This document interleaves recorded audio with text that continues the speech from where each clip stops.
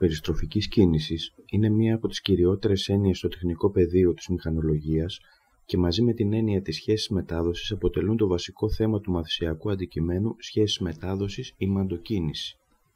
Στην περίπτωση της ημαντοκίνησης, η διάταξη αποτελείται στην απλούστερη μορφή της από έναν ηλεκτροκινητήρα ο οποίος παράγει κίνηση και ροπή και δύο τροχαλίες προσαρμοσμένες στην κινητήρια και την κινούμενη άτρακτο καθώς και τον κλειστό ατέρμονα ή μάντα που τη συνδέει. Ένα εικονικό στροφόμετρο μας βοηθάει να αντιληφθούμε την περιστροφική ταχύτητα των δύο ατράκτων τροχαλιών, ενώ χαρακτηριστικά μεγέθη της διάταξης παρατίθενται ως αποτέλεσμα μιας σειράς υπολογισμών, βοηθώντας μας να προσεγγίσουμε ποσοτικά τις μεταξύ τους σχέσεις.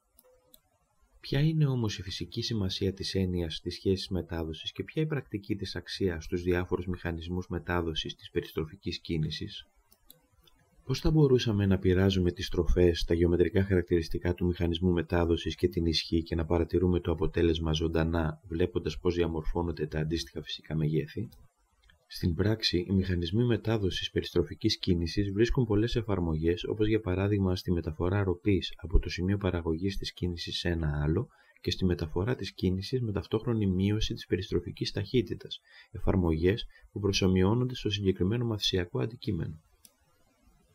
Η ενσωμάτωση στοιχείων θεωρίας στο μαθησιακό αντικείμενο διευκολύνει ιδιαίτερα τον εκπαιδευτικό, είτε σε διαζώσεις είτε σε εξαποστάσεως διδασκαλία, καθώς τον αποδεσμεύει από τη διαδικασία επιλογής και διάθεσης υποστηρικτικού εκπαιδευτικού υλικού. Αντίστοιχα βέβαια, διευκολύνει και τον μαθητή που πειραματίζεται με το συγκεκριμένο αντικείμενο. Οι εφαρμογές που προτείνονται επίσης διευκολύνουν την πρώτη επαφή με το αντικείμενο και τις λειτουργικότητες του, εισάγοντας τυπικά προβλήματα υπολογισμών σχέσης μετάδοσης για επίλυση. Εμβαθύνοντας, παρουσιάζονται διερευνήσεις θεμάτων πέραν της τυπικής επίλυσης μαθηματικών σχέσεων. Το σημείο με το μεγαλύτερο ενδιαφέρον βέβαια είναι ο πειραματισμός, αφού μας δίνεται η δυνατότητα να πειράζουμε μια σειρά από φυσικά μεγέθη του μηχανισμού, όπως τις στροφές του κινητήριου άξονα ή τις διαμέτρους των τροχαλιών του μηχανισμού μετάδοσης ή ακόμα και την ισχύ του ηλεκτροκινητήρα και στη συνέχεια, ενεργοποιώντας την προσωμείωση, να παρατηρήσουμε το αποτέλεσμα στην οπτικοποίηση του μηχανισμού μετάδοσης είτε στις ενδείξεις των οργάνων, όπως είναι το στροφόμετρο, ή στις ετικέτες παρουσίασης των αποτελεσμάτων. Των αποτελεσμάτων της σχέσης μετάδοσης, των στροφών της κινούμενης τροχαλίας, της περιφερειακής ταχύτητας, της περιφερειακής δύναμης και τέλος των μεταφερόμενων ροπών.